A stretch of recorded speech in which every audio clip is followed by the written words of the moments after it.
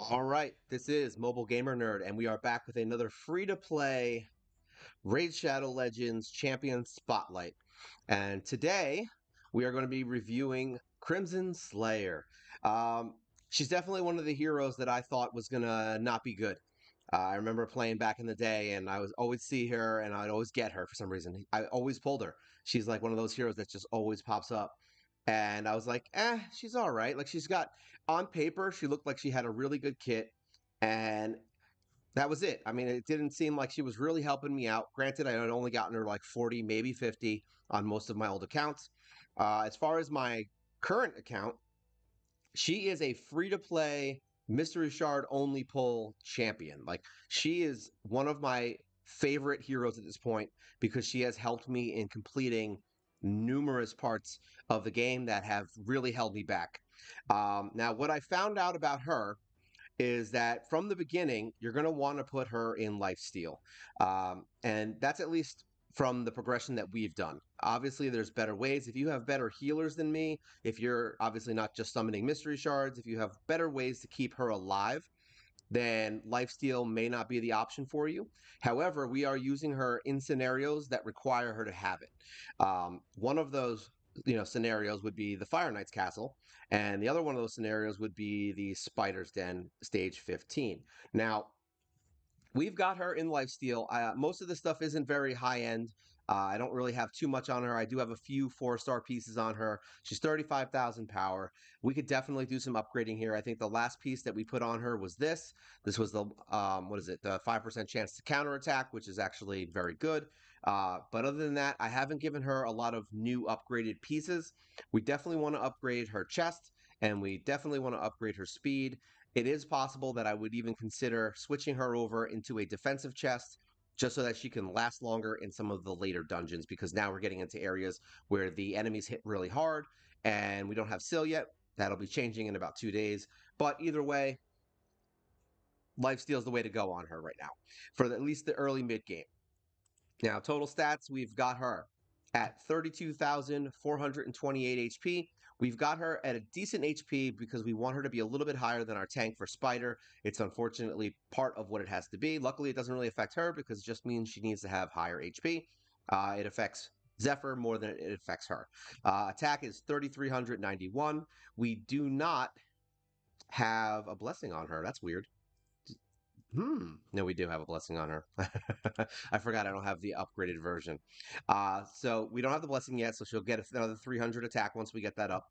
Uh, defense, she's got 2,000 defense, reasonable, not great. Uh, speed, 159, very low right now. We definitely need to get that up, which is part of the reason why the boots are slow. Um, so once we get like a five or six star, we can probably build that up a little bit. Crit rate is at 90%, not perfect, but good. Uh, crit damage, 128, also not amazing, but you know, decent. Uh, resistance is 92 and accuracy is 90. Also, stats that we need to get fixed a little bit for the later dungeons. We do need her to start landing her skills, and unfortunately, the bosses are getting higher and higher resists. So we're going to need higher higher accuracy in order to you know match that. Uh, as far as skills go, she's got a three-time hitter on the A1, which is why she is amazing for Fire Knight. She can sleep enemies during the waves, and she's got a three hitter for the shield. Very good, especially when paired with her her masteries, which will give her extra hits. Uh, and she sleeps, so she is a staple of my tag team arena defensives. Um, I use her all the time to fight. She's great at putting like you know uh, who those two that are always in there, Ultimate Death Knight and uh, Deliana. Pretty much anybody who's annoying Siphi if her resistance isn't too high because I don't have high accuracy, but once I do, I can hit her too. Uh, great for Paragon. Like these are all things that you know the sleep buff is great for. Uh, attacks one enemy and has a 70% chance of decreasing the target's turn meter. This is why she's in our spider team she can reduce the turn meter, which is very important. The only wonky thing about this is her AI is messed up, and you will have to program her in the team screen to make sure that she actually uses this skill because it's the one skill that she very rarely will use in uh, PVE areas. And then you've got the heal reduction, which is great for many many dungeons actually. Uh, mostly though, Spirit Potion Keep and the Fire Knight as well. Even though she rarely hits it for some reason, recently she's been hitting it on the higher levels because we're using more turn meter reduction to win. Uh, so that way she actually does land her HP, um, her heal reduction. She does have the Phantom Touch Blessing. We want her to do more attack, and her her aura is 17% attack and faction crypts.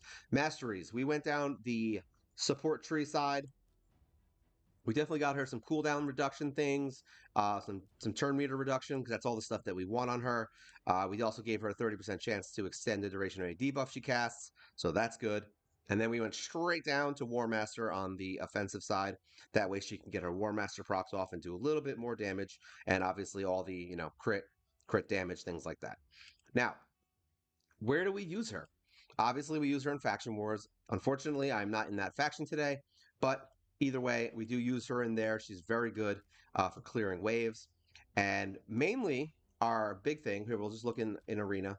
So when we do battles, no, I can't do it. Uh, I forgot I used them all. So when we do that, we put her in. I believe she's in my mid team, my my middle team, and she is great for when you're up against the uh, more annoying teams. Like I said, so we do use her there. We don't use her in classic arena because we have better teams for for the single team.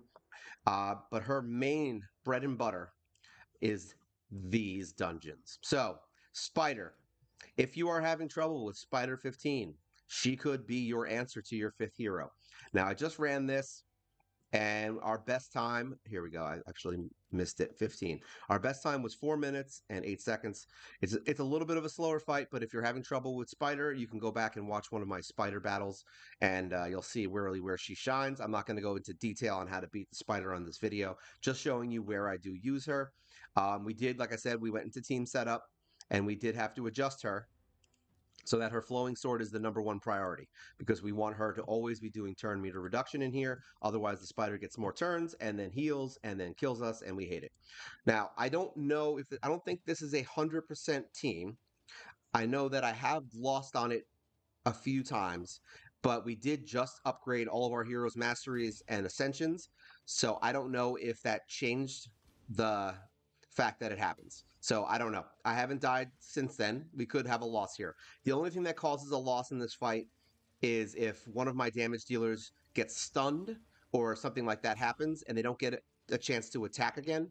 And then unfortunately their HP will drop below Zephyr sniper, snipers and the spiders will target them. Now, if another hero kills them, look at that. Look at that damage you just did. Um, if another hero can heal themselves back up and kill the spiders, then it won't it won't matter. Now, Armiger is obviously in there for turn meter reduction. Soulbond's in here for turn meter reduction. Uh, Zephyr's here as their tank. Um, Spirit Host is in here because she doesn't die. And Ooh, there we go. And Crimson Slayer, the star back there, uh, is good for clearing out some spiders because we want some spiders to be dead. Basically, we want to alternate kind of as to which spiders are dead and which ones aren't. Now, see, she healed back up, and that's what you want to avoid. So now that we're past that first heal, the point here is you want to keep her turn meter down long enough to do enough damage before the spider will heal again, and then you can beat the fight. So this is a great place for Crimson Slayer. I honestly didn't think she would be good in here for for Spider 15, but she really showed that she can hold up with a lot of the other ones. There you go. Flowing Sword, decreased turn meter. That's what we want. We want this spider to not take turns, and there you go, Soulbond. She does a full reduce, which is even just as good, actually better, but she's a little bit slower on her turns, which is the only downside. Look at that, 50k damage on her, and she's not even built like 100%. She has reasonable gear, not a lot of glyphs. We can definitely do more with her. Our uh, our Great Hall is not maxed on Spirit. We're basically just working on Magic Heroes right now, so she doesn't have any of those bonuses. She does have a few bonuses from the Faction Guardians. I don't know how many. I think it's one of the. I think Knight's Revenant actually is full. I think I have that one full. That's Executioner. So we did farm him up. So she does have full, full bonuses from there. So she got a nice little 10% attack, 10% defense, and HP. See, this is where it gets a little scary. Hopefully your heroes get a turn. See, like right now, we're in limbo. As long as the spiders don't attack like they are now, see? This is what could cause you to lose, but now she's going to go again. And there you go, back up to full health, and we are back on track. So those are the only things that can kind of cause a problem. Hopefully you would have somebody who can increase turn meter and do things like that would make this fight a little easier. I have tried this with High Khatun as my lead, but it just doesn't work because she won't stay alive right now because I don't really I didn't really build her that well. Um, she's only level 50. She's not one of my priorities right now. But yeah, Crimson Slayer is she's she's been rocking in this in this fight for a while. Um, she may or may not appear in my level 60 i mean in my uh, stage 20 fight i'm not sure yet we haven't gotten there yet we're working on 17 so i need a tank a magic tank to do it and i think i have one i just haven't built it yet. So we're going to be working on that and we are getting uh, Syl. So Syl would be a very good addition to our spider team as well. We'll see how that goes in the future. But yeah i mean there's nothing wrong with this. There's obviously better options. We're not this is not a video about you know, having the best heroes. This is a video spotlighting a free to play hero that you can use to beat certain content in this game that will help you beat it. And she sleeps some of the spiders, which is even better because it also stops it from doing turns. Anything that stops anything from moving is good in this. Obviously, stun is better, but sleep works.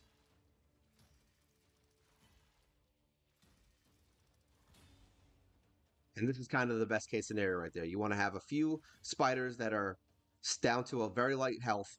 There you go. Ah, there you go. Decrease turn meter. She's doing it again. There you go. Even better. See?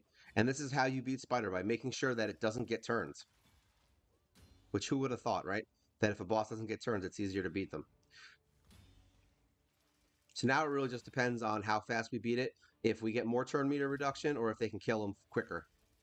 We'll see what happens. Here we go. Okay, decreased turn meter. Good. There we go. It's dead. So there you go.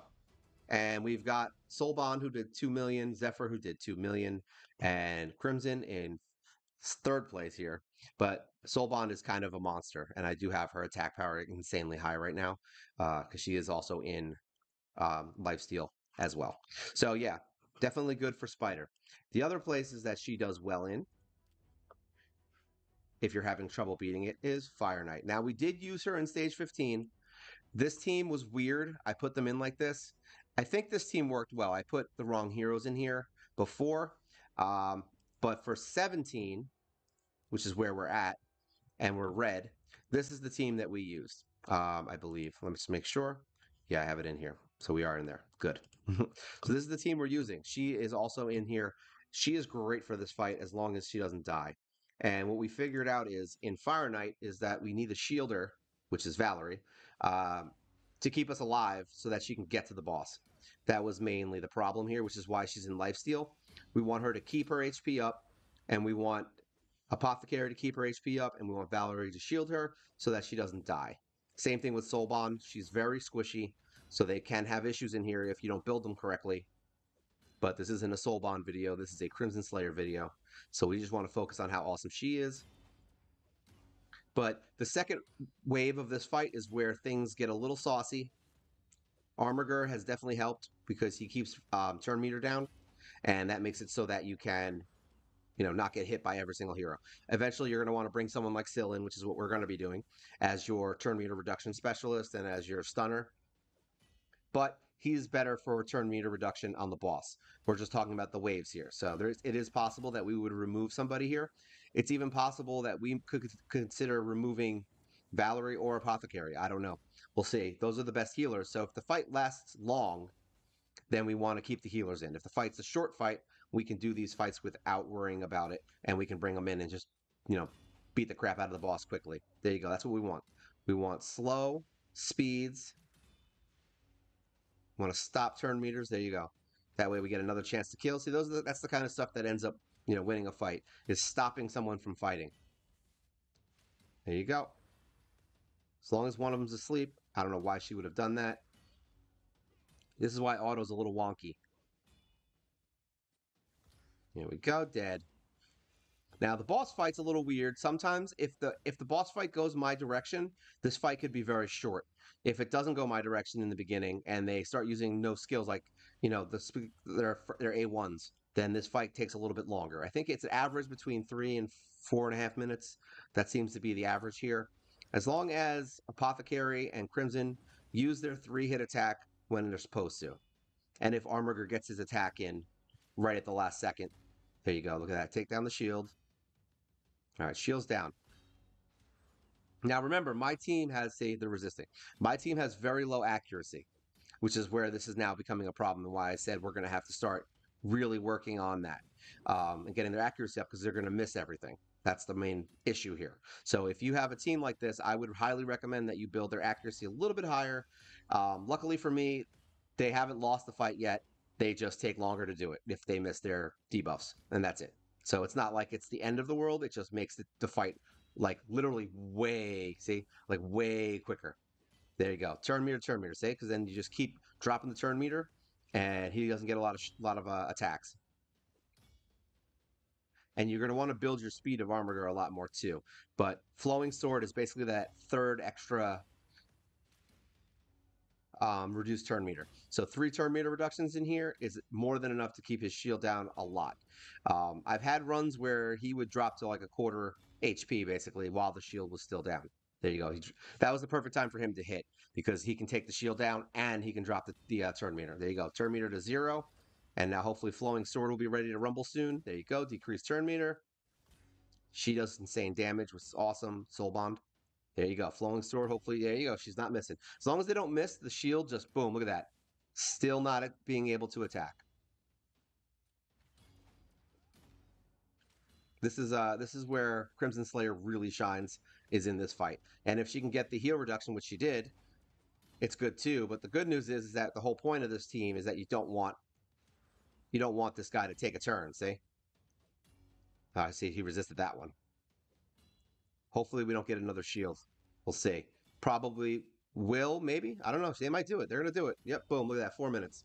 So it just really depends on when they actually get the shield down and if they can keep it down when the, the cycle works. Sometimes it works on auto, sometimes it doesn't. Obviously, if you're going to manual this fight, it, you could probably bang it out, you know, a little more efficiently, but it'll still take long because you're going to be clicking buttons. Um, so there you go. She's not the damage specialist. Again, as you can see, Soulbond is the damage specialist. She's more utility than attack, but she is still attack. Um, and Soulbond is just a monster, so we can't really we can't really compare the two. So yeah, that's uh, that's Crimson Slayer. And like I said, you can also use her in the Spirit Keep because she has the heal reduction. It's not the best version of heal reduction for it, but it helps you get through the fight quick. Um, it'll keep her from healing all the way back up, which is all you need at this point. Uh, once you start getting into like stage 20, yeah, you're going to need 100%. Um, well, I mean, I don't even know if you're going to need it depending on what attack heroes you bring in. It is possible that you could just do 50% and just get a whole bunch of debuffs like poisons and HP burns on her, and then it would burn through her HP faster than she can heal. So it could still work at later levels. But we're talking about mid game, and for mid game, Crimson Slayer is a beast. Um, so yeah, that's basically it. Uh, we just wanted to kind of do a nice little quick overview of what we use her for, how we built her, and you know what her future is. Her future is really just building her with better gear. And I have a feeling once she gets to about 40, 45, 50k power, she's going to start really shining a lot more than she does already. I don't think I'm going to be pulling her from that team for a little while. Uh, not even because it's hard to level heroes to 60, but because she actually does have really good utility. So don't sleep on her if you uh, have pulled her in the beginning of the game and you need help with certain things. I mean, especially if you're in the stage 15 area of the game, this is, Crimson Slayer is one of the best, literally one of the best heroes at stage 15 uh, dungeons that you could probably build to help you get through your hard challenge of beating it 10 times on auto. So yeah, that's it for today. Let me know if you have any questions or if there's anything else you'd like to see in these videos about the heroes. I definitely would like to bring them into Faction Wars too, but it just wasn't the day for that, and I wanted to get another little, you know, spotlight on Crimson Slayer. So this is Mobile Gamer Nerd, and you guys take care.